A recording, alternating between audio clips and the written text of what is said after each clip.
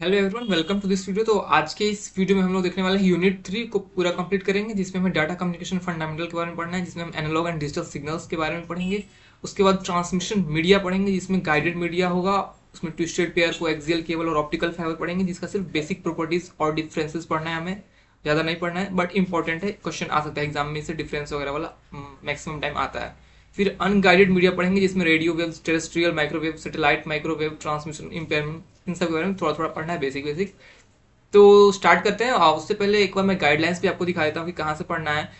And guidelines से पहले एक और बात भी इम्पोर्टेंट है कि uh, अगर आप इस uh, इसमें आई uh, मीन पहली बार चैनल पे आपको सब्सक्राइब ज़रूर कर लेना। एंड बता दूँ कि ये जो सीरीज़ चल रहा है जिसमें कि Delhi University semester third BA programme computer application या फिर जी कंप्यूटर साइंस कोर्स के जितने भी आप स्टूडेंट्स हैं, आप लोगों के लिए कोर्स मैं प्रोवाइड कर रहा हूँ फ्री ऑफ़ कॉस्ट यूट्यूब पे लेक्चर के थ्रू तो आप इसको शेयर भी कर सकते हैं अपने फ्रेंड्स में, बिल्कुल शेयर करना है आपको, ठीक है? और प्लेलिस्ट पूरा है, आप देख सकते हैं unit one and two cover हो चुका है।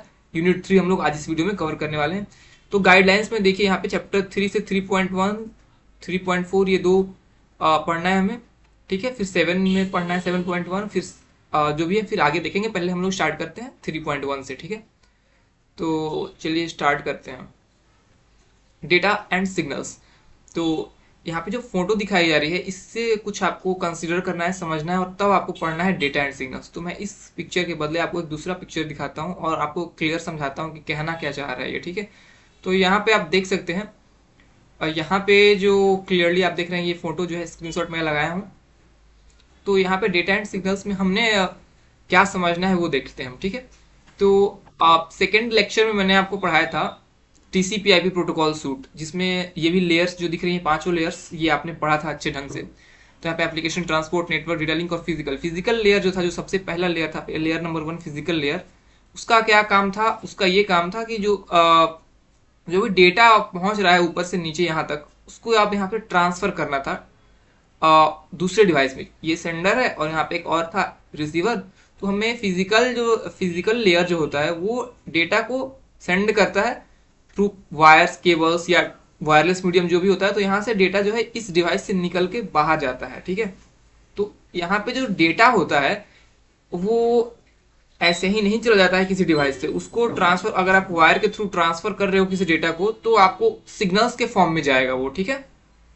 और वही सिग्नल्स और डेटा के बारे में हमें पढ़ना है यहाँ पे। तो आपको कॉन्सेप्ट समझ में आ गया कि ये सिग्नल्स और डेटा हम लोग पढ़ क्यों रहे हैं? इसका कॉन्सेप्ट यहाँ से आया है कि यहाँ एप्लीकेशन जो लेयर था उसमें जो भी डेटा हमने दिया, फिर वहाँ पे डेटा लिंक लेयर तक पहुँचा और डेटा लिंक लेयर में पहुँचने के बाद उसको फ्रेम्स बोलते हैं जो कि ज़ीरो वन के फॉर्म में होता है। फिर वो डेटा जो है फ़िज़िकल लेयर तक पहुँचा और वहाँ से वो कन्वर्ट होगा सिग्नल्स में और तब यहाँ पे ट्रांसमिशन मीडियम जैसे कि केबल्स ट्विस्टेड पेयर या फिर वायरलेस मीडियम के थ्रू वो दूसरे डिवाइस तक पहुंचेगा। तो that's why we are studying this data and signals ठीक है? अब यहाँ पे थोड़ा सा और देख लो डेटा दो टाइप के होते हैं एनालॉग डिजिटल सिग्नल्स भी दो टाइप की होती हैं एनालॉग डिजिटल एनालॉग मतलब कंटिन्यूस होता है डिजिटल मतलब डिस्क्रिट होता है, जो कि हम लोग आगे पढ़ेंगे। और यहाँ पे ये सब और भी डिटेल में हम पढ़ेंगे तो बस ये इस फ़ोटो दिखाने का ये मतलब था कि ये कहाँ से आया और हम लोग क्यों पढ़ने जा रहे हैं इसलिए। तो अब हम यहाँ पे आगे बढ़ते हैं। एनालॉग एंड डिजिटल डेटा ठीक है? तो डेटा कैन बी एनालॉग और डिजिटल ठीक है? डेटा जो होता है वो, और यहाँ पे एक जो भी सब लिखा हुआ है, वो मैंने बता दिया उस एग्ज़ाम्पल के ही थ्रू तो वही सब लिखा हुआ है। तो आपको परेशान होने की कोई बात नहीं है। डेटा कैन बी एनालॉग और डिजिटल डेटा जो होता है वो एनालॉग और डिजिटल दोनों ही फॉर्म में हो सकता है। The term analogue data refers to information that is continuous ठीक है? एनालॉग डेटा का मतलब होता है जो भी कंटिन्यूस फॉर्म में हो। इसको भी समझाने वाला हूँ आपको एग्ज़ाम्पल के थ्रू और डिजिटल मतलब होता है that has discrete states for example an analogue clock that has an hour minute और second hands gives the information in continuous form जैसे कि आप घड़ी देखोगे, जो एनालॉग क्लॉक होती है, जो सुई वाली घड़ी होती है उसमें क्या होता है? टाइम जो भी होता है, उसमें आवर मिनट सेकेंड वाले हैंड होती है और वो कंटिन्यूस चलते रहता है। वहाँ पे आपको जो टाइम शो हो रहा है, वो कंटिन्यूस फॉर्मेट में शो हो रहा है, ठीक है? और वहीं पे जो डिजिटल क्लॉक आपके पास, जो आपके स्मार्टफ़ोन में है या फिर डिजिटल वॉच जो आप यूज़ करते हो, वहाँ पे क्या होता है? डिस्क्रीट फॉर्म में डेटा शो करता है। जैसे कि वहाँ पे एट मतलब आपको एट फाइव हो रहा है टाइम फिर सडनली एट सिक्स हो जाएगा। या फिर अगर सेकेंड भी शो हो रहा है तो फोर फाइव सिक्स सेवन इस तरह वो बढ़ते रहेगा। उसके बीच फोर और फाइव के बीच फोर पॉइंट फाइव नहीं आने वाला है आपके डिजिटल में, ठीक है?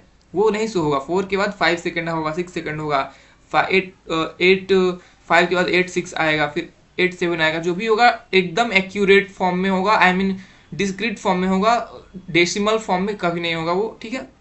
जबकि कंटिन्यूस का मतलब ये होता है कि वो सुई में वाली जो घड़ी है जो एनालॉग क्लॉक होती है वहाँ पे आप देखोगे तो सेकेंड हैंड जो है कंटिन्यूसली चलते रहता है और अगर किसी पॉइंट पे आप उसको स्टॉप कर दोगे तो किसी फ्रैक्शन ऑफ़ सेकेंड पे वो आ, वो इंडिकेट करेगा वो एग्जैक्ट जो है वहाँ पे वहाँ पे डिस्क्रिट वैल्यूज़ नहीं मिलती है जैसे कि डिसिमल वैल्यूज़ जो वहाँ पे मिल सकती है वहाँ पे इंटीजर वैल्यू डायरेक्टली नहीं मिलेंगी। आ, तो मेरे कहने का मतलब समझ पा रहे होगे। कहने का मतलब वही है कि एनालॉग मतलब कंटिन्यूस कोई भी फॉर्म में वहाँ पे वैल्यूज़ मिल सकती हैं।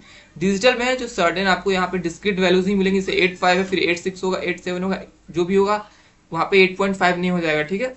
तो ऐसे फॉर्म को बोलते हैं डिस्क्रीट फॉर्म जो कि डिजिटल बोला जाता है उसको, और एनालॉग भी होता है कंटिन्यूस होता है। बस ये दोनों टर्म याद रखना, इसी टर्म पे आपको नंबर मिलेंगे। अगर आ गया डिफिनेशन लिखने के लिए तो एनालॉग मतलब कंटिन्यूस और डिजिटल मतलब डिस्क्रीट ठीक है? और समझ में आ ही गया होगा आपको। Analogue data such as the sounds made by human voice takes a continuous values हमारे ह्यूमन वॉइस का जो साउंड होता है, वो भी कंटिन्यूस जो होता है, और एनालॉग होता है वो, ठीक है? When someone speaks an analogue wave is created जब भी कोई बोलता है तो एक वेव क्रिएट होता है।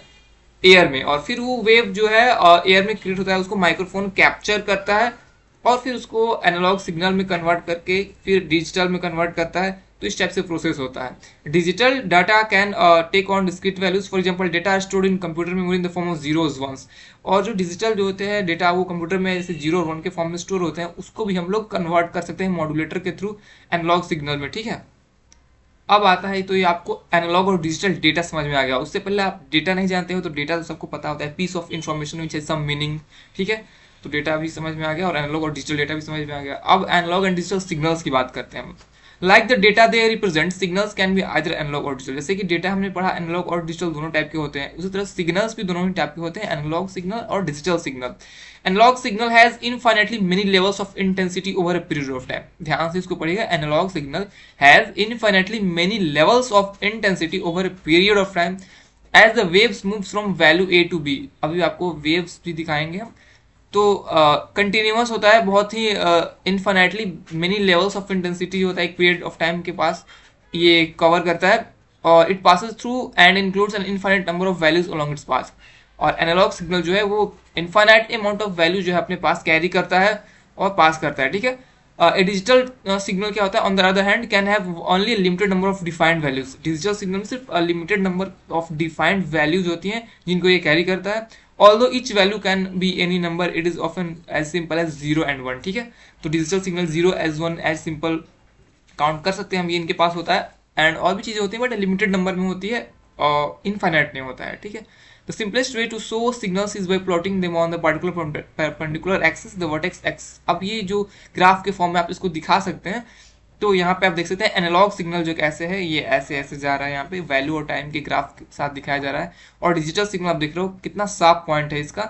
यहाँ पे ऐसे ऐसे ऐसे ऐसे ऐसे जा रहा है, जो भी जा रहा है। तो ये बहुत साफ़ पॉइंट हैं इसके। जबकि इसका कंटिन्यूस वाला पॉइंट है तो यहाँ से इनफाइनाइटली जा रहा है, ठीक है? और ये जो है, ये इनफाइनाइट नहीं लिमिटेड जाएगा, और जहाँ पे जाएगा स्टॉप हो जाएगा, ठीक है? फिर तो ये दोनों ग्राफ से आप समझ पा रहे होंगे।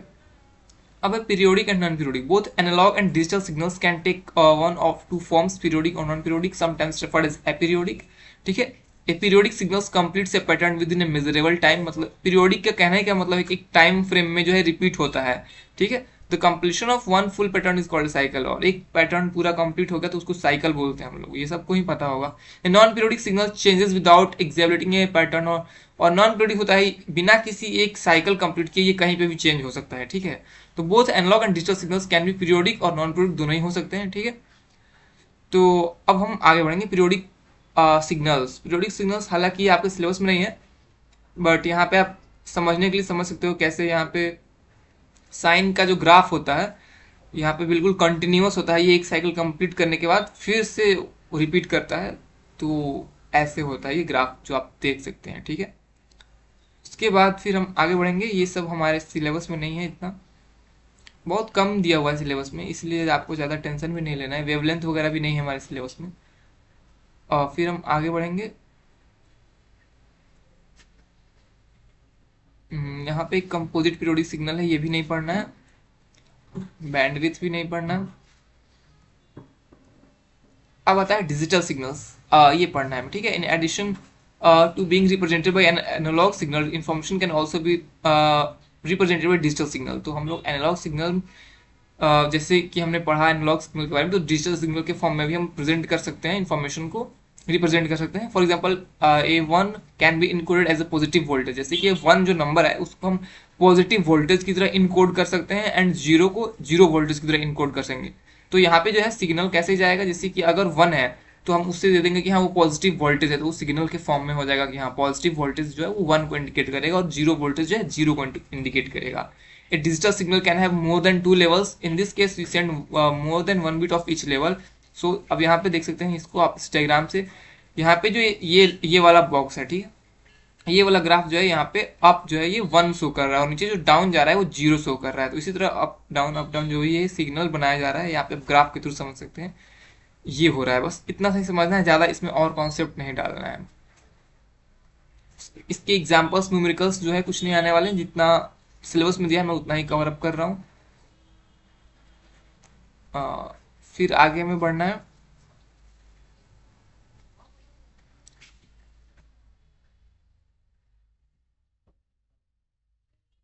अब यहाँ पे ट्रांसमिशन इम्पेयरमेंट हमें पढ़ना है ठीक है? यहाँ पे सिलेबस में एक बार फिर से दिखा देता हूँ आप, आपको लग रहा होगा कि क्या पढ़ा रहा है। देखिए यहाँ पे 3.1 था उसके बाद डायरेक्टली 3.4 था ठीक है? तो हालाँकि मैंने जो है वो बीच में भी कुछ बता दिया बट आ, कोई दिक्कत नहीं है। आ, अब हम 3.4 पे आ चुके हैं जो हमें पढ़ना है।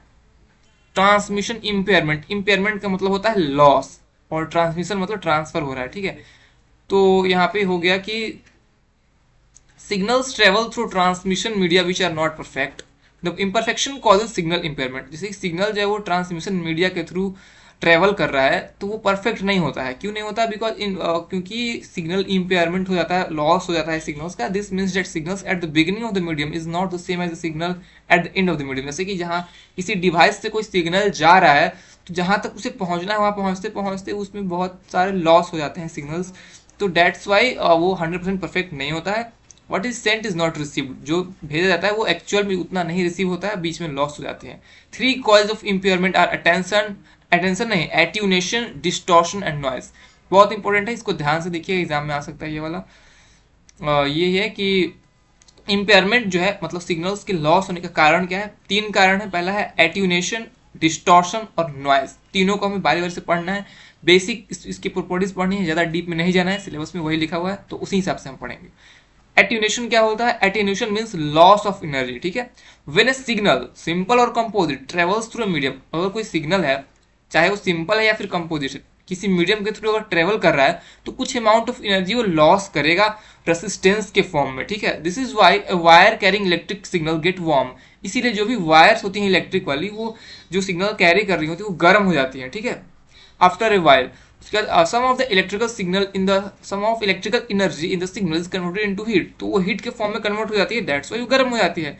To compensate for this loss amplifiers are used to amplify the signals और इस इस लॉस को जो है कंपेंसेट करने के लिए एम्पलीफायर्स का इस्तेमाल किया जाता है, जो कि सिग्नल को एम्पलीफाई करता है.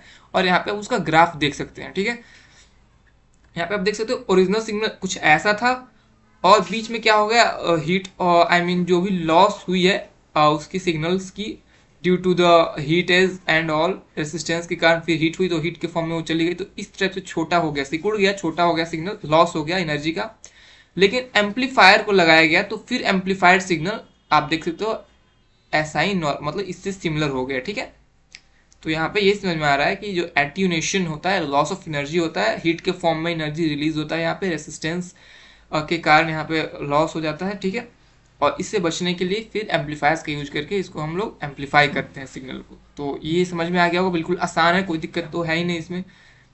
और साउंड को मेजर करने के लिए डेसिबल होता है आपको पता ही होगा यूनिट बस बट ये सब हमें एग्ज़ाम्पल वगैरह बिल्कुल नहीं पढ़ना है। बस जितना हमें पढ़ना था उतना हमने पढ़ लिया। अब डिस्टॉर्शन पढ़ेंगे। Distortion means that the signal changes its shape form changes its form और शेप डिस्टॉर्शन का मतलब होता है सिग्नल या तो अपना फॉर्म ही बदल देगा या फिर उसका सेप बदल जाएगा, ठीक है?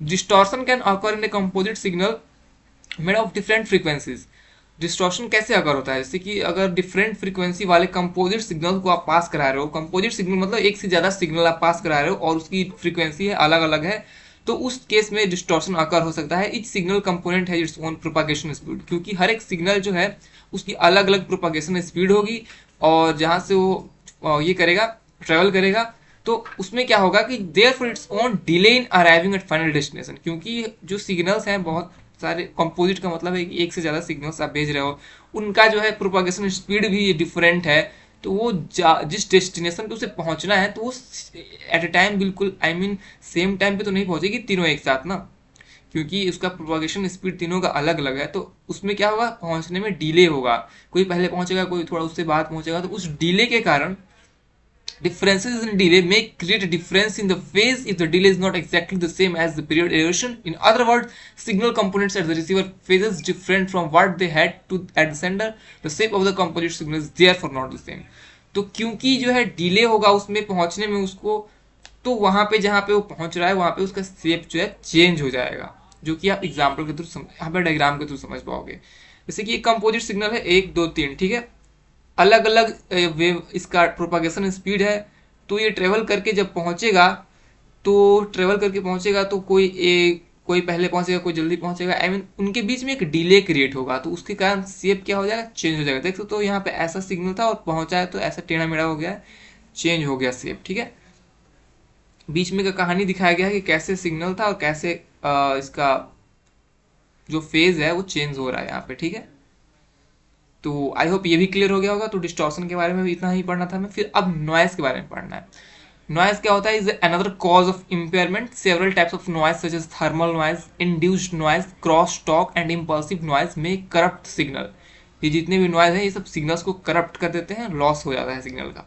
थर्मल नॉइज़ क्या होता है? Thermal noise is a random motion of electrons in a wire किसी भी वायर में इलेक्ट्रॉन्स के रैंडम मोशन को हम लोग थर्मल नॉइज़ मतलब थर्मल नॉइज़ बोलते हैं। मतलब किसी भी वायर में अगर इलेक्ट्रॉन फ्लो कर रहा है तो उसके कारण जो नॉइज़ क्रिएट होता है तो उसको थर्मल नॉइज़ बोलते हैं ठीक है? जैसे आपने कभी गौर से सुना होगा अगर पता नहीं सुना हो या फिर नहीं तो कई बार ऐसा होता है कि वायर्स वगैरह जो होती हैं हैवी वायर्स जो होती हैं उनके आसपास से ट्रांसफार्मर के अगर आप पास गए हो कभी तो उस वायर से कुछ नॉइज़ आती रहती है आई I मीन mean, तो बट वो इतना ह्यूमन सुनने ऐसा भी नहीं होता है बट वो सिस्टम से पता चलता है तो कहने का मतलब ये है कि वायर्स के अंदर जो इलेक्ट्रॉन्स के फ्लो होते हैं, उसके कारण जो नॉइज़ आता है, उसको थर्मल नॉइज़ बोलते हैं which creates an extra signal not originally sent होते और उससे एक एक्स्ट्रा सिग्नल क्रिएट हो जाता है, जो कि एक्चुअल में भेजा गया नहीं होता है। तो वो एक एक्स्ट्रा स्टफ़ हो गया वहाँ पे।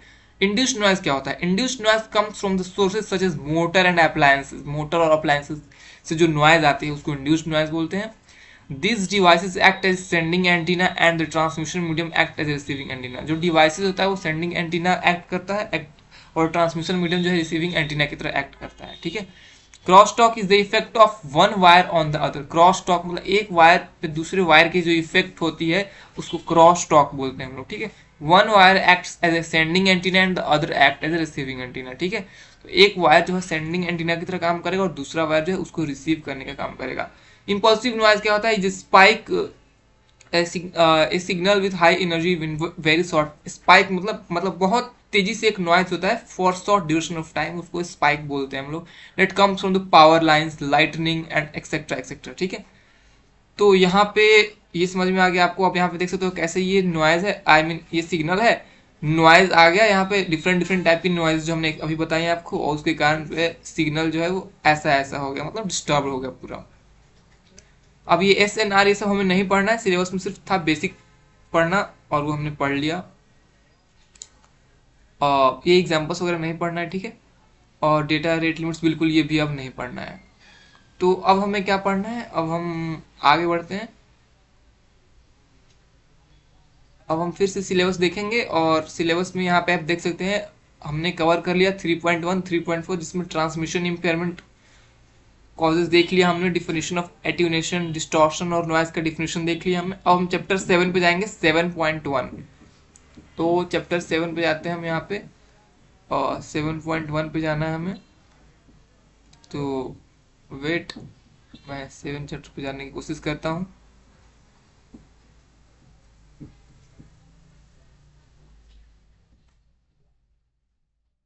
अब हम सेवन चैप्टर की ओर बढ़ रहे हैं। सेवन पॉइंट वन हमें पढ़ना है। यस तो ये है चैप्टर सेवन ठीक है? तो यहाँ चैप्टर सेवन आ गया हमें chapter seven seven point one जो हमें पढ़ना है इस चैप्टर में। तो ट्रांसमिशन मीडिया ठीक है? ट्रांसमिशन मीडिया में पढ़ना है तो transmission media are actually located below the physical layer and are directly control by the physical layer physical layer वही टीसीपी आईसीपी मॉडल के जो फ़िज़िकल लेयर है, उसके नीचे जो होता है यहाँ पे, वो होता है ट्रांसमिशन मीडियम जो कि केबल ट्विस्टेड पेयर जो भी इस टाइप की वायर्ड मीडियम है, वो या फिर वायरलेस मीडियम में एयर या फिर रेडियो वेव्स जो भी है, उनके थ्रू यहाँ पे, उस मीडियम्स के थ्रू हम दो डिवाइस को कनेक्ट करते हैं, इस ट्रांसमिशन मीडियम के थ्रू ठीक है? एक एंड पे रिसीवर है आई मीन सेंडर है, दूसरे पे रिसीवर है, और यहाँ इस ट्रांसमिशन मीडियम के थ्रू हम डेटा को ट्रांसफ़र करते हैं और कनेक्शन कम्युनिकेशन स्टेब्लिश कर पाते हैं, ठीक है? आ, इसके डिफिनेशन पे देखते हैं हम लोग। Transmission medium can be broadly defined as anything that can carry information from source to a destination तो ट्रांसमिशन मीडियम कुछ भी हो सकता है जो कि एक सोर्स से दूसरे डेस्टिनेशन तक एक सोर्स से आई I मीन mean, जो डेस्टिनेशन तक इन्फॉर्मेशन पहुँचाने का काम करे उसको ट्रांसमिशन मीडियम बोलते हैं ठीक है? For example transmission medium for two people having a dinner conversation is the air अब जैसे दो लोग बात कर रहे हैं डिनर कर रहे हैं सामने आमने सामने तो उनके बीच का ट्रांसमिशन मीडियम क्या होगा? एयर होगा। क्योंकि वहाँ पे हम आप बात कर रहे हैं आई I मीन mean, वो तो हम इंटरनेट के थ्रू बात कर रहे हैं बट आप अपने किसी फ्रेंड के साथ बात कर रहे हो इन पर्सन तो वहाँ पे आप जो बोल रहे हो तो वो एयर में जा रहा है और फिर आपका फ्रेंड भी एयर में ही है सामने ही है तो वो वहाँ से फिर उसकी ईयर्स तक जा रहा है। तो वहाँ पे जो ट्रांसफ़र जो हो रहा है आपके वॉइस का ट्रांसफ़र वो किस मीडियम के थ्रू हो रहा है? एयर एज ए मीडियम के थ्रू वहाँ पे हो रहा है ठीक है? तो ट्रांसमिशन मीडियम कुछ भी हो सकता है जो कि एक इन्फॉर्मेशन को सोर्स से डेस्टिनेशन तक पहुँचाने का काम करे। आगे बढ़ते हैं, जैसे कि in data communication the definition of the information and transmission medium is more specific the transmission medium is usually free space transmission medium जो है, वो यूजुअली क्या होगा? फ्री स्पेस होगा। Metallic cable optical fibre optic cable हो सकता है। This information is usually signal that is the result of conversion of data from one to another form अब फिर यहाँ पे कुछ कुछ कहानी लिखी गई है जो हमें ज़्यादा पढ़ना नहीं है बट थोड़ा सा मैं पढ़ देता हूँ। The use of long distance communication using electric signal started with the invention of the telegraph by Morse in 19th century, communication by telegraph was and dependent on a metallic medium. उसके बाद extending the range of the human voice become possible when the telephone was invented telephone जब invent हुआ 1869 में तो फिर human voice जो है वो आई मीन मतलब टेलीफोन के हेल्प से ह्यूमन वॉइस भी अब ट्रेवल करने लगा। Telephone communication at that time also needed a metallic medium वो भी मेटालिक मीडियम के थ्रू हो रहा था उस टाइम वायर्स के through to carry the electric signals that were the result of conversion from human voice ठीक है? The communication was however unreliable due to the poor quality of the wires wires की quality poor थी, इसलिए जो communication है वो सही ढंग से हो नहीं पा रहा था। The lines were often noisy and the technology was unsophisticated वहाँ पे काफ़ी दिक्कत थी लाइन्स भी नॉइजी थे और टेक्नोलॉजी भी सही ढंग से था नहीं उतना। Wireless communication started in 1895 when Hertz was able to send high frequency signals. ठीक है? Later, Marconi devised a method to send telegraph type messages over the Atlantic Ocean. We have came a long way. Better metallic media have been invented. Twisted pair and coaxial cables. फिर धीरे धीरे बहुत invention हुआ, जैसे कि twisted pair and coaxial cable जो है, ये काफ़ी बढ़िया है। The use of optical fibres has increase the data rate incredibly because optical fibre जो है लाइट के हेल्प से उसमें ट्रांसमिशन होता है एंड लाइट का स्पीड सबसे ज़्यादा होता है। तो बहुत सही हो गया फिर वो तो ठीक है? तो यही सब कहानी है। यहाँ पे यही है दिखा रहा कि electromagnetic energy a combination of electric and magnetic fields vibrating in relation to each other includes power radio waves infrared light visual light ultraviolet light and X gamma and cosmic rays which of this constitute a portion of the electromagnetic spectrum. तो ये सब जो है, ये सब मिलकर electromagnetic spectrum बनाते हैं, जो भी वेव्स का मैंने नाम लिया। और इनके हेल्प से कम्युनिकेशन जो है not all the proportion of the spectrum are currently visual for telecommunication but some of this waves are used for telecommunications okay in telecommunication transmission media can be divided into two broad category, guided and unguided, ठीक है? तो guided में आता है twisted pair cable coaxial cable fibre optic cable और unguided में जो है फ्री स्पेस में वायरलेस मीडियम आता है। तो बहुत ध्यान से समझिएगा इंपॉर्टेंट टॉपिक है, ठीक है? और आसान है वैसे तो ट्रांसमिशन मीडिया दो टाइप में डिवाइडेड है गाइडेड और अनगाइडेड गाइडेड मतलब वायर्ड मीडियम अनगाइडेड मतलब वायरलेस मीडियम तो वायर्ड मीडियम में ट्विस्टेड पेयर केबल आता है कोएक्सियल केबल आता है फाइबर ऑप्टिक केबल आता है। और अनगाइडेड में रेडियो वेव आता है माइक्रोवेव आता है और इंफ्रारेड आता है, ठीक है? तो अब हम वन बाय वन देखेंगे इनको। गाइडेड मीडिया क्या होता है? Guided media which are the those that provide a from one device to another include twisted pair cable coaxial cable and fibre optic cable ठीक है? मतलब कि वैसा आपको गाइडेड मीडिया ऐसा ट्रांसमिशन मीडियम है जो आई मीन कनेक्शन प्रोवाइड करता है थ्रू ट्विस्टेड पेयर क्योंकि वायर्ड फॉर्म में है तो ट्विस्टेड पेयर केबल और कोएक्सियल केबल के थ्रू और फाइबर फाइबर ऑप्टिकल केबल के through a signal travelling along any of this media is directed and content by the physical limits of the medium ठीक है? Twisted pair and axial cable use metallic copper conductors that except the transport signal in the form of electric current जो twisted pair है या फिर को axle cable है, वो metallic copper conductors को इस्तेमाल करता है, जिसके हेल्प से सिग्नल्स जो है ट्रांसपोर्ट होती है in the form of electric current optical fibre is a cable that and transport signal in the form of light जैसे कि मैंने बताया ऑप्टिकल फाइबर है लाइट के कॉन्सेप्ट चलता है। ये लाइट के रिफ्लेक्शन और प्रॉपर्टीज़ पे काम करता है, बनाया गया है तो यहाँ पे जो है, ये सिग्नल्स को लाइट के फॉर्म में ट्रांसफ़र करता है, ठीक है? और बाकी जो कोएक्सियल केबल है या फिर ट्विस्टेड पेयर है, ये करंट के फॉर्म में ट्रांसफ़र करता है, क्योंकि इसमें कंडक्टर्स हैं कॉपर वायर के, ठीक है? अब हम ट्विस्टेड पेयर केबल के बारे में जानेंगे। Twisted pair cable consist of two conductors normally copper each with its own plastic insulation twisted together as shown in figure जो आप देख सकते हो। यहाँ पे जो है दो कंडक्टर का पेयर होता है, जो कि कॉपर का होता है कंडक्टर और फिर प्लास्टिक इंसुलेशन है यहाँ पे, और यही है सिंपल आपका twisted pair cable one of the wire is use to carry signals इसमें से एक वायर जो है सिग्नल कैरी करने के लिए होता है, और दूसरा जो है ground difference I mean earth के लिए होता है, ठीक है? The receiver uses the difference between the two और जो रिसीवर है, इन दोनों के बीच का डिफरेंस को इस्तेमाल करता है, ठीक है? Plus minus in addition to the signal sent by the sender on one of the wires interference noise and cross talk में effect both voice and create unwanted signals तो यहाँ पे वही क्रॉस टॉक और इंटरफ्रेंस नॉइज़ वगैरह का condition हो जाता है यहाँ पे तो उससे सिग्नल्स यहाँ पे थोड़ा आई मीन डिस्टर्ब होता है, ठीक है? If two wires are parallel the effect of this unwanted signal is not the same in both wires because they are different location related to the noise और crosstalk sources one is closer and other is for this is difference in the receiver तो यहाँ पे अगर इसको parallel कर दिया जाए तो उसका कुछ अलग डिफरेंस होगा, क्योंकि पैरल होगा तो एक के पास क्लोजर होगा, एक फार्कर होगा। वहाँ पे दूसरा डिफरेंस क्रिएट करने वाला है, ठीक है? अब आगे बढ़ेंगे twisted by twisting the pairs is a balance इसलिए यहाँ पे ट्विस्ट किया गया है। ध्यान से समझिएगा क्वेश्चन पूछा जा सकता है कि ट्विस्टेड पेयर केबल को पैरेलल क्यों नहीं रखा गया? उससे तो फिर काफ़ी कम हो जाता है इंटरफेरेंस और नॉइज़ तो ऐसा इसलिए पैरल नहीं रखा गया, क्योंकि पैरल रखेंगे तो कहीं पे ज़्यादा क्लोज हो जाएगा, वो कहीं पे फार हो जाएगा, क्योंकि वो लंबी दूरी तक पहुंचाना है ट्विस्टेड केयर तो इतना नहीं रखना है जो डायरेक्टली रखेंगे। तो वहाँ पे अनइवन क्रिएट होगा, वहाँ पे और ज़्यादा दिक्कत होगा। तो इसको हम ट्विस्ट कर दिए, ऐसे मोड़ दिए, ऐसे। तो यहाँ पे क्या है कि इन दोनों के बीच का जो गैप है इक्वल इक्वल है तो जो भी क्रिएट होगा इक्वल में होगा तो ज़्यादा यहाँ पे दिक्कत नहीं होगा, ठीक है? तो यही हो गया twisting makes the probable both wires ठीक है? यहाँ पे वही कहानी है। From the above of discussion it is clear that the number of twist per unit of the length has some effect on the quality of cable ठीक है? तो ये कहानी हो गया। अब यहाँ पे unshielded versus shielded twisted pair यहाँ पे कुछ कहानी है कि एक अनसील्डेड होता है एक सील्डेड होता है। यहाँ पे देख रहे हो प्लास्टिक कवर है, यहाँ पे मेटल का सील है। तो ये दोनों यूटीपी मतलब अनसील्डेड यहाँ और यहाँ जो है सील्डेड ठीक है? इन दोनों में क्या डिफरेंस है? हालाँकि ये आपको पूछा तो जाएगा नहीं, फिर भी आप देख लो थोड़ा सा the most common twisted pair cable use in communication is referred to as unshielded twisted pair UTP IBM has also produced a version of twisted pair cable for its use called shielded twisted pair ठीक है?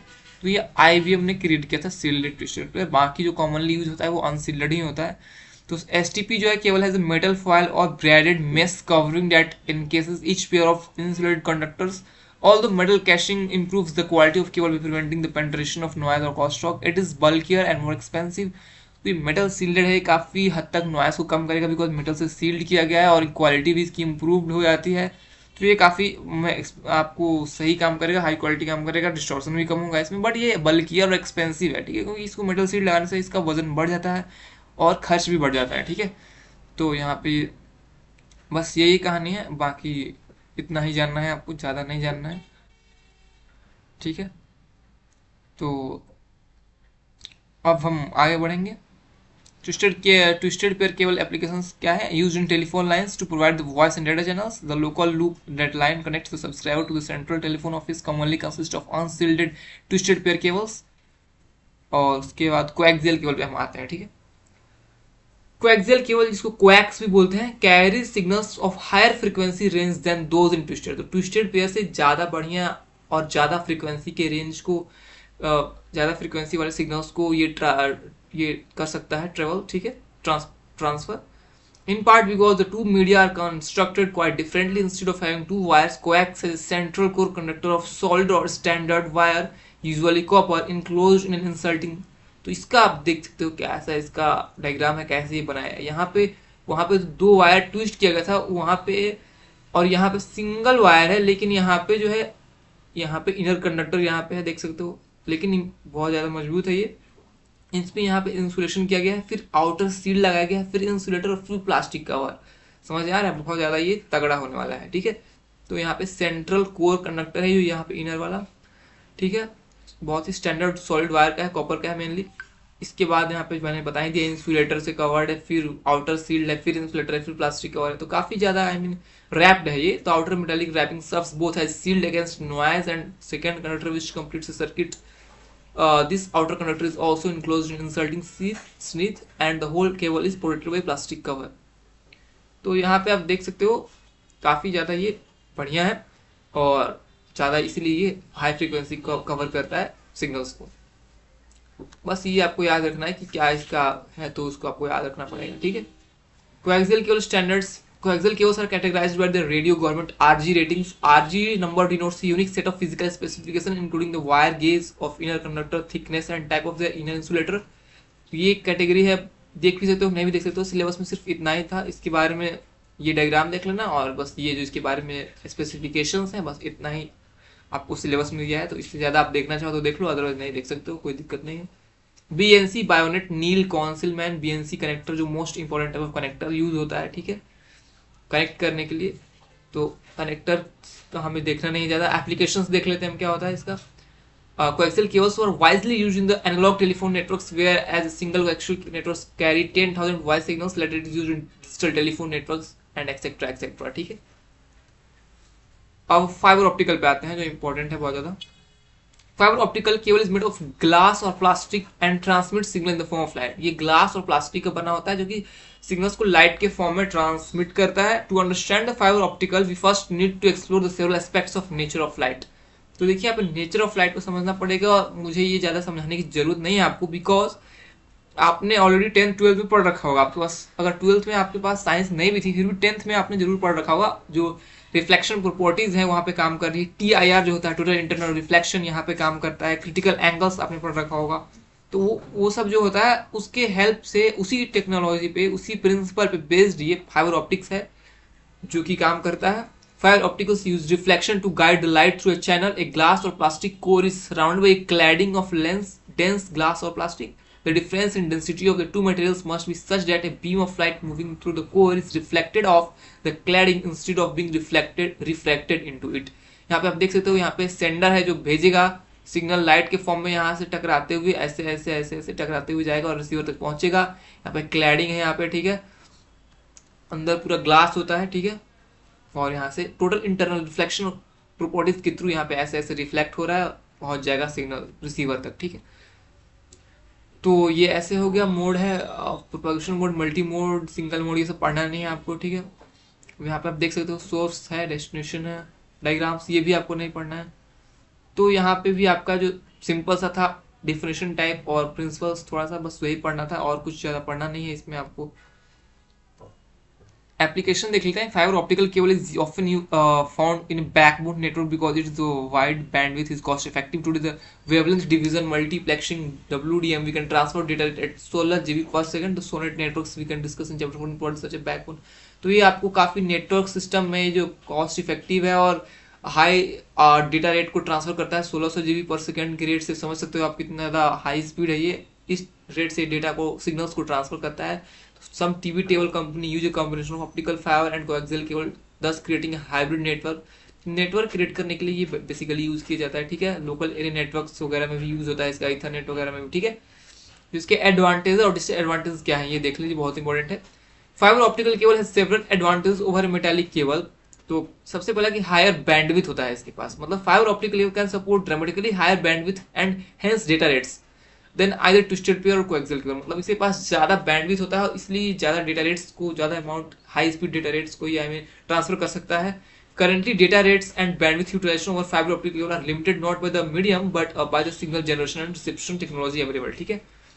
Less signal attenuation मतलब कि signal का loss बहुत कम होता है इसमें। Optical transmission distance is significantly greater than that of the other guided media a signal can run 50 kilometre without requiring regeneration मतलब 50 किलोमीटर डायरेक्टली बिना रीजनरेशन के, बिना रिकनेक्शन के ये 50 किलोमीटर सिंगल लेंथ ट्रेवल कर सकता है। We need repeaters every 5 kilometre for coaxial और जबकि कोएक्सियल और ट्विस्टेड पेयर केवल आप यूज़ करते हो तो हर एक पाँच किलोमीटर पे आपको एक रिपीटर लगाना पड़ता है जबकि ये सीधा सीधा सिंगल पचास किलोमीटर तक ट्रेवल कर सकता है विदाउट एनी हैजर्ड ठीक है? तो ये बहुत सही है। आगे है इम्यूनिटी टू इलेक्ट्रोमैग्नेटिक इंटरफ्रेंस तो electromagnetic noise can not affect the fibre opticals cables ठीक है? तो इससे भी बच जाता है तो काफ़ी सही है ये। रेसिस्टेंस टू कोरोसिव मटेरियल्स क्योंकि ग्लास से बना होता है तो इसमें कोरोजन का कोई दिक्कत ही नहीं है, ठीक है? लाइट वेट होता है fibre opticals are much lighter than copper cable greater immunity to tapping tapping से भी काफ़ी ज़्यादा बच जाता है because fibre optical cables are more immune to tapping there copper wires copper cable create antenna effect is tapped copper wire वाला जो होता है एंटीना जो होता है, उसको आसानी से टैप किया जा सकता है बिकॉज़ एंटीना के इफ़ेक्ट से बट इसको टैप करना मुश्किल है बहुत। अब इसके भी डिसएडवांटेज हैं, कुछ वो भी देख लेते हैं, जैसे कि इंस्टॉलेशन एंड मेंटेनेंस ये न्यू टेक्नोलॉजी है तो इसका मेंटेनेंस और इंस्टॉलेशन काफ़ी महँगा है और अवेलेबल भी नहीं है हर जगह पे। यूनिडायरेक्शनल लाइट प्रोडक्शन क्योंकि यहाँ पे जो लाइट का प्रोडक्शन होता है यूनिडायरेक्शन होता है मतलब एक बार लाइट यहाँ से वहाँ जाएगा तो फिर वहाँ से वापस नहीं आएगा सिंगल डायरेक्शन होता है यूनिडायरेक्शनल ठीक है? तो बाई डायरेक्शनल अगर करना है तो फिर बहुत ज़्यादा फाइबर की ज़रूरत पड़ेगा, बहुत ज़्यादा आई मीन कॉस्ट ज़्यादा हो जाएगा, वही बात है कॉस्ट वगैरह ज़्यादा हो जाए, ठीक है? तो इसको याद कर लेना होगा आपको। अब हम अपना है अनगाइडेड मीडिया की तरफ़ बढ़ते हैं, जो कि वायरलेस है। Unguided medium transport electromagnetic waves without using a physical conductor this type of communication is often referred to as wireless communication to anyone whose a device capable of receiving them अब यहाँ पे figure दिखाया जाएगा, यहाँ पे radio wave microwave infrared इन सब के जो भी दिए गए हैं वेवलेंस और यहाँ से कैसे प्रोपागेशन होता है, उसको हम लोग देखेंगे, ठीक है? ग्राउंड प्रोपागेशन स्काई प्रोपागेशन और line of sight propagation ground propagation में क्या होता है? रेडियो वेव्स ट्रेवल करता है lowest portion of the atmosphere मतलब hugging the earth this low frequency signals emanate in all directions from the transmitting antenna and follow the curvature of the planet. Distance depend on amount of the power in the signal. The greater the power, the greater the distance. ठीक है? सबसे नज़दीक ground के जो होता है, ये ground propagation होता है, जो कि बिलो टू मेगा होता है। उसके बाद स्काई प्रोपोगेशन आता है, जो कि हाई फ्रीक्वेंसी रेडियो वेव्स होता है, जो कि अपवर्ड आयोनोस्फीयर में रेडिएट करता है, क्योंकि इस लेयर में आयंस भी होते हैं। और they are reflected back to earth और वहाँ से वो बैक आ जाता है अर्थ पे रिफ्लेक्ट करके। This type of transmission allows for greater distance with lower output तो ज़्यादा डिस्टेंस कवर करने के लिए स्काई प्रोपोगेशन यूज़ किया जाता है। फिर आता है line of sight propagation very very high frequency signals are transmitted in straight lines directly from antenna to antenna मतलब एंटीनाज जो है एंटीना से एंटीना तक भेजा जाता है ये signal antennas must be directional facing each other, either tall enough और क्लोज एनफ जैसे कि आपके टीवी में एंटीना है, वो सेटेलाइट के थ्रू उसमें सिग्नल आता है तो उसमें कैसे घुमाया जाता है एंटीना को फेस किया जाता है सिग्नल कैप्चर किया जाता है तो वहाँ से कैसे कनेक्ट होता है तो वो होता है लाइन ऑफ़ साइट वाला, ठीक है? तो ये तीन टाइप का हो गया। आ, इसका आप देख सकते हो रेंज क्या होता है। वेरी लो फ्रीक्वेंसी जो होता है तीस से तीन से तीस किलो हर्ज होता है। ग्राउंड प्रोग्रेशन में आता है वो। लो फ्रीक्वेंसी रेंज जो होता है तीस से तीन सौ ये भी ग्राउंड में आता है। तो इसके एप्लीकेशन क्या है? लॉन्ग रेंज रेडियो नेविगेशन और इसका जो एप्लीकेशन है radio beacons and navigational locators middle frequency range में जो आता है वो 300 से तीन 300 किलो हर्ट से तीन मेगा हर्ट जो स्काई प्रोगेशन में आता है उसका एप्लीकेशन ए एम रेडियो है। हाई फ्रीक्वेंसी रेंज तीन से तीस मेगा हर्ट इसका प्रोगेशन है, सिटीजन बैंड वगैरह, एयरक्राफ्ट वगैरह के लिए होता है। वेरी हाई फ्रीक्वेंसी जो होता है, तीस से तीन सौ मेगा हर्ट स्काई और लाइन ऑफ़ साइट उसमें V H F TV FM radio ये सब होता है उसका एप्लीकेशन फिर एक अल्ट्रा हाई फ्रिक्वेंसी होता है, तीन सौ मेगा हार्ट से तीन गीगा उसमें T V cellular phone satellite वगैरह होता है। सुपर हाई फ्रिक्वेंसी होता है, तीन से तीस गीगा ये सेटेलाइट के लिए होता है। और एक्सट्रीमली हाई जो होता है, वो तीस से तीन सौ गीगा जो होता है रेडार और सेटेलाइट के लिए होता है। अब लास्ट जो है radio waves I mean last तो नहीं, इसके बाद इंफ्रा रेड भी है तो हाँ उसको पढ़ते हैं पहले रेडियो वेव्स को। तो यहाँ पे क्या होगा कि although there is no clear cut demarcation between radio waves and microwaves, electromagnetic waves ranging in frequency 3 kilohertz से 1 गीगाहर्ट्ज तक का जो रेंज होता है इलेक्ट्रोमैग्नेटिक वेव का, उसको रेडियो वेव बोला जाता है। Wave ranging in frequency between 1 and 300 gigahertz called microwaves और जो 1 से 300 गीगाहर्ट्ज होता है, वो माइक्रोवेव होता है। however the behavior of the waves rather than the frequency is a better criteria for the classification radio waves for the most part are omnidirectional मतलब both direction में होता है ये when an antenna transmits radio waves they are propagated in all directional ठीक है this means that the sending and receiving antennas do not have to be aligned A sending antenna sends the waves that can be received by any receiving antenna. The omnidirectional property has a disadvantage too. तो ये तो एक advantage है कि antenna जो है omni directional मतलब एक एंटीना जो सिग्नल भेजेगा तो दूसरा एंटीना किसी भी डायरेक्शन में होगा तो उसको कैप्चर कर लेगा लेकिन इसका इसका डिसएडवांटेज भी है Uh, the radio waves transmitted by one antenna are susceptible to interference by another antenna that may send signals using the same frequency. अब इसमें ये डिसएडवांटेज है कि अगर एक एंटीना से सिग्नल जा रहा है दूसरे को अगर लेना है सिग्नल या फिर भेजना है तो वो ले लेगा क्योंकि सिग्नल्स तो यहाँ पे ऐसा हो रहा है कि भाई ओमनी डायरेक्शनल है। अगर मैं किसी एंटीना से सिग्नल भेज रहा हूँ और किसी दूसरे एंटीना को रिसीव नहीं करना है, उसको भी सिग्नल भेजना है, फिर भी वो रिसीव कर लेगा बिकॉज़ ये ओमनी डायरेक्शनल है तो तो ये थोड़ा दिक्कत हो सकता है। Radio waves particularly those waves that in sky mode can travel long distances this makes radio waves a good candidate for long distance broadcasting जैसे एम रेडियो वगैरह है। तो इसमें ये हेल्पफुल होता है। Radio waves particularly those of low medium frequency can penetrate walls ये walls को पेनेट्रेट कर सकता है। This characteristic can be both advantage and disadvantage इसका एडवांटेज भी है डिसएडवांटेज भी। एडवांटेज कैसे है? बिकॉज़ एग्जांपल अगर AM radio signal can receive signals inside a building ठीक है? क्योंकि दीवार को भी ये पेनेट्रेट कर देता है। और डिसएडवांटेज क्या है? Because we can not isolate communication just to inside outside building तो अब हमें उसमें डिफरेंट डिफरेंट सिचुएशंस में हमें ये होता है कि हमें उसे नहीं भी डालना है तो फिर भी चला जाएगा वो सिग्नल ठीक है? तो बस ये कुछ चीज़ है। ये एंटीना है, देखिए। The omnidirectional characteristic of radio waves make them useful for multicasting, in which there is one sender but many receiver, ठीक है? AM and FM radio television ये सब में हेल्पफुल है ठीक है? अब आता है माइक्रोवेव्स तो माइक्रोवेव्स शायद पढ़ना या फिर नहीं पढ़ना, देख लेते हैं। Seven point two, seven point three, seven point three point two तक है। तो seven point three point two बस ये माइक्रोवेव्स हमें electromagnetic waves having frequency between 1 and 300 gigahertz are called microwaves ठीक है? तो जो भी इलेक्ट्रोमैग्नेटिक वेव्स हैं, जिनकी फ्रीक्वेंसी 1 से लेके 300 गीगाहर्ट्ज के बीच में होती हैं, उसको माइक्रोवेव्स बोलते हैं हम लोग। When antenna transmit microwaves they can be narrowly focused this means that the sending and receiving antennas need to be align मतलब अगर एक इसमें माइक्रोवेव्स के थ्रू अगर आपको सिग्नल भेजना है तो दोनों एंटीना जो है वो अलाइन होने चाहिए। तो नैरोली फोकस्ड होगी, तभी हो जाएगी signal the unidirectional property has an obvious advantage और इसके पास ये यूनि डायरेक्शनल होता है मतलब सिंगल डायरेक्शन में पास होगा, ठीक है? ट्रेवल करेगा. A pair of antenna can be aligned without interfering with another pair of allied antennas और द फॉलोइंग डिस्क्राइब्स तो यहाँ पे जो यूनिडायरेक्शनल में प्रोपर्टीज का फ़ायदा ये है कि एक एंटीना आप दूसरे एंटीना से अलाइन करके डायरेक्टली सिग्नल्स को पास कर सकते हो, बिना किसी दूसरे को डिस्टर्ब किए, ठीक है? कुछ कैरेक्टरिस्टिक है, देख लेते हैं उसको। Microwave propagation is line of sight since the towers with the mounted antennas need to be in direct sight of each other, towers that are far apart need to be very tall.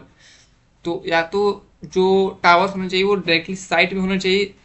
मतलब दोनों towers के बीच जो उन्हें, उनका जो alignment है, इस type से होना चाहिए कि वो दोनों को देख पाए। दोनों टावर्स दिख सके अलाइनमेंट हो सके सही ढंग से, या फिर काफ़ी टॉल होना चाहिए। जिससे कि कोई डिस्टर्बेंस ना हो कोई ब्लॉकिंग ऑब्स्टिकल्स ना आ जाए उसमें, ठीक है? टावर्स के बीच में। Repeaters are also often use for long distance आपको जैसे ही लॉन्ग डिस्टेंस कम्युनिकेशन इसमें कवर करना है माइक्रोवेव के थ्रू तो आप रिपीटर्स को भी लगा के उसमें, उसको पॉसिबल कर सकते हो। A very high frequency microwaves can not penetrate walls this characteristic can be disadvantage if receivers are inside the buildings अगर कुछ रिसीवर्स जो हैं, जिनको रिसीव करना है सिग्नल वो बिल्डिंग्स के अंदर हैं तो ये दिक्कत हो सकती है बिकॉज़ हाई फ्रीक्वेंसी माइक्रोवेव जो है वॉल्स को पेनेट्रेट नहीं करता है। The microwave band is relatively wide 299 ninety के almost there the wide sub band can be assign at a high data rate is also possible ठीक है? Use of certain portion of band requires permission from authorities clear है? अब यूनिडेक्शनल antennas को ज़्यादा नहीं देखना है, ये सब चीज़ें। एप्लीकेशन देख सकते हो microwaves due to their unidirectional properties are very useful when unicast मतलब one to one communication is needed between the sender and receiver sender और रिसीवर के बीच में अगर वन टू वन कम्युनिकेशन करना है तो माइक्रोवेव्स काफ़ी यूजफुल होता है यहाँ पे। They are use in cellular phone satellite networks and wireless LANs ठीक है? इंफ्रारेड तो वैसे सिलेबस में नहीं पढ़ आई मीन इंफ्रारेड का थोड़ा देख लीजिए आप। इंफ्रारेड विथ फ्रीक्वेंसी क्या होता है? इंफ्रारेड वेव्स होता है, जिसका फ्रीक्वेंसी होता है three hundred giga to four hundred T H J मतलब तेरह हर्ज समझ में आ रहा है? वो बहुत ज़्यादा हाई होता है. Can be use for short range communication ठीक है? Infrared waves having high frequency can not penetrate walls बस छोटा सा जान लीजिए. ज़्यादा इसके बारे में नहीं पढ़ना. Infrared signals can be used for short range communication in a closed area using line of sight propagation, ठीक है? अब हमारा जो नेक्स्ट टॉपिक आता है, वो है सैटेलाइट वाला, जो कि हमें पढ़ना है. चैप्टर 16 में 16.3 ठीक है? तो 16.3 हम लोग जा तो अब हमें सेटेलाइट नेटवर्क के बारे में पढ़ना है। Satellite network is a combination of nodes some of which satellites that provides communication from one point on the earth to another a node in the network can be satellite an earth station और an in digital terminal और telephone satellite network क्या होता है? Combination of nodes होता है, जिसमें सब satellites होते हैं। सेटेलाइट्स क्या करते हैं? एक अर्थ के किसी कोने से दूसरे कोने तक में इंफॉर्मेशन कम्युनिकेशन स्टैब्लिश करने का काम करती हैं। नोड यहाँ पे जो है नोड कहने का मतलब यहाँ पे है कि नेचुरल सेटेलाइट हो सकता है नोड मून हो सकता है जो नेचुरल सेट सॉरी जो नोड यहाँ पे कहने का मतलब वो कोई सेटेलाइट हो सकता है कोई अर्थ स्टेशन हो सकता है या फिर कोई एंड यूज़र टर्मिनल या फिर टेलीफोन हो सकता है ठीक है? Although natural satellite can uh, such as moon can be used for relying on node network the use of artificial satellites is preferred because we can still we can install electronic equipment on the satellite to regenerate the signal that has lost its energy during the travel ठीक है हम लोग natural satellite जैसे moon है उसको भी इस्तेमाल कर सकते हैं बट क्यों नहीं करते हैं क्योंकि वहाँ पे हमें जो मून uh, जो हमारा नेचुरल सेटेलाइट है वो काफ़ी दूर है हमारे से दूसरी बात कि हम वहाँ पे uh, अपने कुछ इक्विपमेंट्स इंस्टॉल नहीं कर सकते मून पे और आर्टिफिशियल सेटेलाइट पे हम लोग अपने इक्विपमेंट्स को इंस्टॉल कर सकते हैं, जिससे कि हमने जो भी सिग्नल लॉस होगा, उसको हम रीजनरेट कर पाएँगे या फिर अदर अदर एक्टिविटीज़ कर पाएँगे, वहाँ पे जो कम्युनिकेशन को स्मूथ होना है। तो ये होता है, ठीक है? Satellites networks are like cellular networks in that they divide planet into cells satellite can provide transmission capability to and from any location on earth मतलब सेटेलाइट जो है आपको एक सेलुलर नेटवर्क की तरह, जो कि प्लेनेट को सेल्स में डिवाइड करता है और सब जगह नेटवर्क प्रोवाइड करता है। सेटेलाइट्स जो है आपको किसी भी लोकेशन अर्थ पे कहीं से कहीं पे भी, किसी भी लोकेशन पे आपको प्रोवाइड करेगा। आपकी ट्रांसमिशन कैपेबिलिटी है उसके पास, वो आपको नेटवर्क कनेक्शन प्रोवाइड कर पाएगा, ठीक है? This advantage makes the high quality communication available to undeveloped part of the world without requiring huge investment in ground based infrastructure. इससे ये होगा कि जो अनडेवलप्ड पार्ट है दुनिया की, वहाँ तक भी कम्युनिकेशन हाई क्वालिटी पहुँच पाएगी नेटवर्क पहुँच पाएगा बिना किसी ज़्यादा इंफ्रास्ट्रक्चर को डेवलप किए हुए, ठीक है? अब इसके ऑपरेशन को समझते हैं। Orbits an artificial satellite needs to have an orbit orbit क्या होता है? The path in which it travels around the earth उसको ऑर्बिट बोलते हैं, ठीक है? The orbit can be equatorial in inclined और पोलर तो भाई आर्टिफिशियल सेटेलाइट को इंस्टॉल करना है तो हमें ऑर्बिट तो चाहिए होगी ना तो पाथ तो चाहिए होगा। तो पाथ क्या होता है? इलेक्ट्रिक इक्विटोरियल हो सकता है इनक्लाइंड हो सकता है या फिर पोलर हो सकता है, ठीक है? उसके बाद दूसरा टर्म आता है period of satellite the time period required for satellite to make a complete trip around the earth is called period of satellite जिसको केपलर्स के लॉस से हम लोग डिटरमाइन कर सकते हैं. एग्ज़ाम्पल के तौर पर दिया है what is the period of the moon according to Kepler law तो उसका जो फॉर्मूला होता है period is equal to c into distance to the power 1.5 c जो है स्पीड ऑफ़ लाइट है कैलकुलेट करने पर आता है वन मंथ ठीक है? तो वन मंथ जो है मून जो है वन मंथ में एक चक्कर लगाता है अर्थ का टोटल ठीक है? आगे है फुटप्रिंट्स फुटप्रिंट्स क्या होती है? Satellites processes microwaves with bidirectional antennas therefore the signal from satellite is normally aim at specific area called footprint satellite जो होती है, वो माइक्रोवेव्स को बाई डायरेक्शनल एंटीना की तरह प्रोसेस करता है। I mean by directional antennas के साथ प्रोसेस करता है। और उससे क्या होता है कि जो सिग्नल सेटेलाइट जो सिग्नल सेटेलाइट से आता है, वो एक स्पेसिफिक एरिया पे आता है। उस एरिया को हम लोग फुटप्रिंट बोलते हैं। The signal power at the centre of the footprint is maximum footprint के सेंटर पे जो भी पावर होती है मैक्सिमम होती है सिग्नल की, और पावर डिक्रीज कर जाती है सिग्नल की, जैसे ही हम सेंटर से दूर चले जाते हैं, ठीक है? The boundary of the footprint is the location where the power level is at the predefined threshold ठीक है? और बाउंड्री पे जो है प्रीडिफाइंड थ्रेशोल्ड के हिसाब से पावर होता है उसका। फ्रीक्वेंसी बैंड देख लीजिए। The frequency reserve for satellite microwave communication are in gigahertz और यहाँ पे डिफरेंट डिफरेंट दे रखा हुआ है। उससे पहले ये उससे पहले एक और टर्म जान लेते हैं। Each satellite sends and receives over two different bands दो डिफरेंट बैंड्स के ऊपर सेटेलाइट सेंड और रिसीव करता है सिग्नल पहला the transmission from earth to satellite is called uplink earth से अगर सेटेलाइट की ओर जा रहा है ट्रांसमिशन तो उसको अपलिंक बोलेंगे। एंड अगर सेटेलाइट से अर्थ की ओर आ रहा है तो डाउनलिंक बोलेंगे, ठीक है? यहाँ पे देख सकते हैं, जैसे कि बैंड हो गया एल एस सी के यू के इसका डाउनलिंक अपलिंक और बैंडविड्थ जो भी दे रखा है, उसका एक बार आप देख सकते हैं। नेक्स्ट जो हमारा टॉपिक है थ्री कैटेगरीज ऑफ़ सेटेलाइट्स तो पहला कैटेगरी है geostationary earth orbit GEO उसके low earth orbit LEO and medium earth orbit MEO अब इस फ़ोटो के थ्रू आप देख सकते हैं, ये यहाँ पे जो एल्टीट्यूड का रेंज दे रखा है 5000 किलोमीटर 15000 किलोमीटर 35786 किलोमीटर और कहाँ कहाँ पे कौन कौन सा सेटेलाइट स्टेब्लिश्ड है, वो देख सकते हो। सबसे अर्थ सरफेस सबसे करीब सेटेलाइट जो है वो एल है, ठीक है लियो वाला। बीच में है एमईओ और सबसे ऊपर है जीईओ ठीक है। अब यहाँ पे दो कुछ टर्म्स दिख रही हैं। Upper Van Allen belt, lower Van Allen belt. वो क्या होता है? तो a, Van Allen belt is a layer that contain charge particles. तो ये जो वैन एलन बेल्ट है, ये चार्ज पार्टिकल्स यहाँ पे बहुत ज़्यादा होते हैं, चार्ज पार्टिकल्स होते हैं। तो उसी का नाम है ये, और यहाँ लोअर वैन बेल्ट है, अपर वैन बेल्ट है, इन दोनों के बीच में जो है एम ई यू सेटेलाइट्स हैं, ठीक है? तो हम बारी बारी से हर एक सेटेलाइट्स के बारे में पढ़ेंगे और फिर हमारा सिलेबस एंड हो जाएगा, ठीक है? तो जियो सेटेलाइट्स क्या होता है? Line of sight propagation requires that sending and receiving antennas be locked on to each others location at all times तो यहाँ पे देखिए, जियो सेटेलाइट्स को समझने से पहले ये कॉन्सेप्ट है कि अगर एंटीनाज को अगर आप लॉक कर दोगे तो one antenna must have the other in sight दूसरा एंटीना उसके साइड में आएगा। तो उसके लिए क्या करना पड़ेगा? जो एंटीनाज हैं, उनको ब्लॉक करना पड़ेगा। अगर ऐसा हम करें कि एक एंटीना दूसरे एंटीना को हमेशा उसके साइड में रहे तो इसलिए, और for this reason a satellite state moves faster और slower than earth rotation is useful only for short periods अब क्या होता है कि सेटेलाइट जो अर्थ के रोटेशन स्पीड से ज़्यादा या फिर कम स्पीड से जा रहा है तो वो कम पीरियड के लिए हो सकता है, ठीक है? वो ज़्यादा टाइम के लिए नहीं हो सकता है। तो to ensure the constant communication the satellite must move at the same speed as earth लेकिन अगर हमें कॉन्स्टेंटली कम्युनिकेशन करना है कॉन्स्टेंट रखना है तो हमें सेटेलाइट्स के स्पीड को सेम रखना होगा जितना अर्थ का स्पीड है तो वो क्या कहलाएगा? जियो स्टेशनरी कहलाएगा और वही है जियो स्टेशनरी सेटेलाइट्स ठीक है?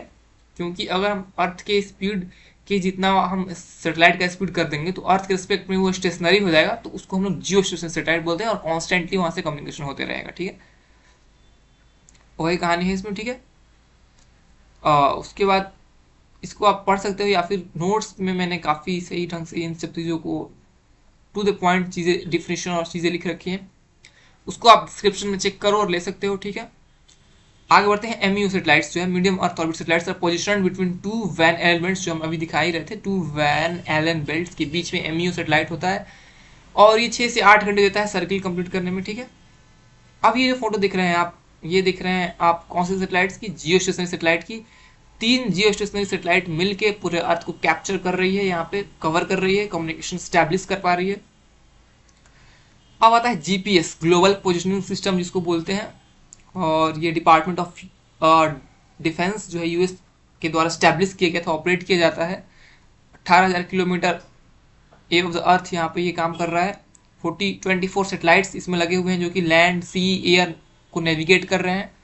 ठीक है? सिक्स ऑर्बिट्स में तो यही सब है कहानी इसका, और ज़्यादा इसमें नहीं हमें पढ़ना है। आगे हमें बढ़ना है इसमें। लियो सेटेलाइट्स पे आना है। Low earth orbit LEO satellites है। Polar orbits the altitude is between 500 and 2000 kilometre मतलब अर्थ के काफ़ी करीब है ये। इसका रोटेशन स्पीड जो है रोटेशन पीरियड जो है 900 90 टू 120 मिनट्स का ही है। द मतलब 90 टू 120 मिनट्स में ही कवर कर लेता है एक अर्थ का।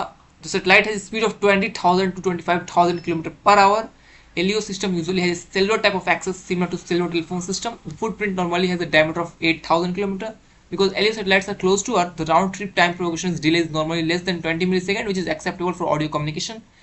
तो इसमें काफ़ी कम डिले होता है इसलिए इसको ऑडियो कम्युनिकेशन के लिए इस्तेमाल किया जा सकता है LEO system is common system of satellites मतलब बहुत सारे सेटेलाइट का कॉम्बिनेशन करके इसका सिस्टम बनता है लियो सिस्टम जो है और work together as a network और एक नेटवर्क की तरह काम करता है। बहुत से सेटेलाइट मिलाकर के लियो सिस्टम बनाते हैं और एक नेटवर्क की तरह काम करते हैं। इस सेटेलाइट एक्ट एज स्विच और हर एक सेटेलाइट स्विच की तरह एक्ट करता है। Satellites that are close to each other are connected through inter satellite links ISL एक सेटेलाइट दूसरे सेटेलाइट से आईएसएल के थ्रू कनेक्ट करता है। A mobile system communication with satellite through a user mobile link UML के through connect करता है। और satellite communicate with earth station gateway through a gateway link GWL ठीक है तो यहाँ पे फ़ोटो में देख सकते हो, यहाँ पे आपका मोबाइल है। वो इस सेटेलाइट से यूएमएल के थ्रू कनेक्ट कर रहा है और ये जो सेटेलाइट है वो एंटीनाज के जो कनेक्ट कर रहा है, वो जीडब्ल्यूएल के थ्रू कर रहा है और ये दोनों सेटेलाइट आपस में आईएसएल के थ्रू कर रहे हैं और सबके फुल फॉर्म आप यहाँ पे देख ही सकते हो, ठीक? बस ये छोटा सा समझने वाला है बात, बाकी तो और कुछ नहीं, बाकी बस ये थोड़ा सा समझ लो कि लियो सेटेलाइट जो है थ्री कैटेगरी में डिवाइडेड है little LEO big LEO broadband LEO little LEO जो है वन गीगा के अंदर ऑपरेट करता है mostly short I mean low data range messaging के लिए इस्तेमाल होता है। बिग लियो जो होता है वन से वन पॉइंट थ्री के लिए ऑपरेट होता है। ग्लोब ग्लोबल स्टार जो है वन ऑफ़ द एग्ज़ाम्पल है बिग लियो सेटेलाइट का, ठीक है? जो कि फोर्टी एट सेटेलाइट्स को यूज़ करता है सिक्स प्रोर ऑर्बिट्स के साथ, ठीक है? और 400 किलोमीटर का एल्टीट्यूड है इसका। 1400 किलोमीटर का एल्टीट्यूड है, ठीक है? उसका इरेडियम सिस्टम है, जिसके पास 66 सेटेलाइट है सिक्स ऑर्बिट में 11 सेटेलाइट्स ईच ऑर्बिट में है, वो 750 किलोमीटर के एल्टीट्यूड पर ये ऑपरेट करता है। और यहाँ पे अब आता है ब्रॉडबैंड लियोज जो होते हैं कम्युनिकेशन को। अब आता है ब्रॉडबैंड लियो तो वो जो होता है फाइबर ऑप्टिक्स जैसे कम्युनिकेशन को वर्क करने के लिए होता है। और टेलीडिस्क जो है, ये system of satellite that provide the fibre optic communication broadband channels low error rate and low delay और इसका जो मेन पर्पस है टेलीडिस्क का, जो ब्रॉडबैंड प्रोवाइड करना है internet access to all the over user around the world और इसलिए इसको इंटरनेट ऑफ़ स्काई भी बोला जाता है। Project was started by 1990 by Craig McCaw and Bill Gates. Later, other investors also joined this project, and the project is scheduled for fully functional in near future. ठीक है तो ये सब हो गया कहानी और आपका चैप्टर भी इसी के साथ एंड हुआ आपको कोई डाउट है तो आप कमेंट कर सकते हो और आप मुझे इंस्टाग्राम पे फॉलो करके मैसेज भी कर सकते हो और आप नोट्स जो है डिस्क्रिप्शन में चेक करो वहाँ से आप नोट्स ले सकते हो एंड कोई भी डाउट हो तो कमेंट करना नेक्स्ट हम लोग मिलेंगे यूनिट फोर वाले वीडियोज़ में और वीडियो पसंद आया तो लाइक करना फ्रेंड के साथ शेयर ज़रूर करना तो फिर मिलते हैं नेक्स्ट वीडियो में तब तक के लिए